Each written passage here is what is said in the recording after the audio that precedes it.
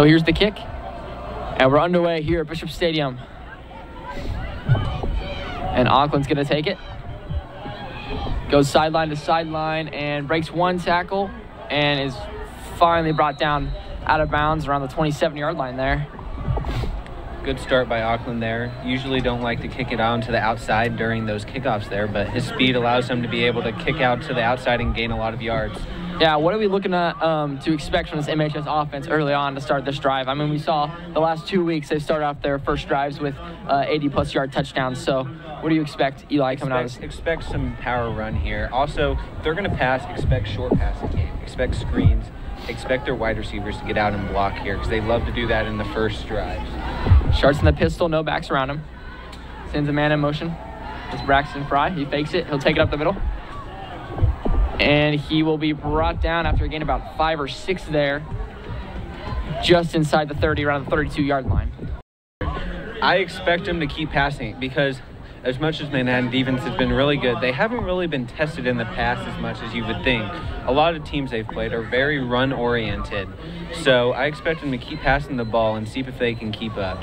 Yeah, Manhattan High, we saw at the very beginning of the season face the toughest rushing team with Dylan Brooks and the Derby and Derby Panthers on the road. They ended up stopping them. So not many run teams, uh, teams that are run heavy, can do much against this Indians defense. Rayville Leak in the backfield. Deontay Mitchell's going to take a keeper, try to bounce it outside, and he might be. Nah, nah, he barely got back to the line of scrimmage. Maybe loses a couple yards there, and the Indians' edge defense playing extraordinary tonight. Yeah, it's those linebackers. They have great closing speed there. These linebackers have great closing speed, which allows them to get to the outside of that quarter. So we got some score updates here on this timeout by the Indians. Uh, Lawrence High School and Derby High School. Derby's leading 27 8 at home as they got a uh, better seed. They bounced back after a couple losses here to Maize and to Manhattan at home to open the season. They've been doing great. Uh, Wichita Northwest and Junction City all knotted up at 14 as Junction has the home field advantage. But whoever wins that game will play the winner of e- Wichita East and Manhattan High here at Bishop Stadium. So we'll keep an eye on that one for y'all. Washburn Rural holding their own against Garden City. That's a tough matchup as Garden City was a two seed overall. Washburn Rural also a, a tough uh, team to play against as they only lost to Manhattan here on the road by three. They're up six to zero right now. Olathe North, Blue Valley West, uh, yet to score um, so far in that game. So we'll keep you updated on those scores all around the league. But that's 6A state playoffs so far. Um, yeah, so now the Indians come back out after the timeout. Looks like Jason Sanchez, number 34, and DeAndre Auckland, number 11, going to go uh, double backs in the backfield as Sharts lines up in the pistol. No jumbo package, just a simple run that they've been doing. Here's Sharts. Calls for the snap. He'll give it to Auckland, and Auckland cannot get there. And he has stopped what defense right there by Wichita East Blue Aces. Interested to see what they do here. This Manhattan defensive front very strong. Maybe they do another screenplay. Marcus White in the motion.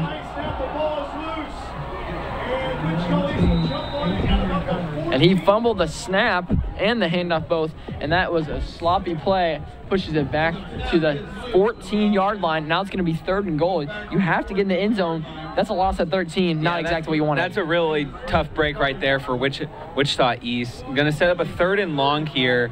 Now, their passing game has been really good so far here in the second half, so I expect them to still be able to set up a fourth and short here, and they'll probably go for it. I mean, there's 7:52 to play. Still a lot of time, but you definitely want a touchdown if you're East to make it a one-score ball game. Big play right here for the MHS defense. Deontay Mitchell will throw wide open, and it's caught by LT Robinson for a Blue Aces touchdown. And Deontay Mitchell leads his team down in under five minutes to score an opening, a second half opening touchdown. What a pass right there! Yeah, a little confusing defensive alignment there by Manhattan. It looked like the safety was supposed to be man to man there, but he didn't really set up, step up, which allowed the receiver to cut, right, run a post right into the middle of the end zone there, wide open for a touchdown. And that was just such a great route. I mean, LT Robinson broke through straight up the middle. And now there's the kick. And it was blocked. And man, the special teams tonight for this Wichita East team have been struggling. And now they're down eight.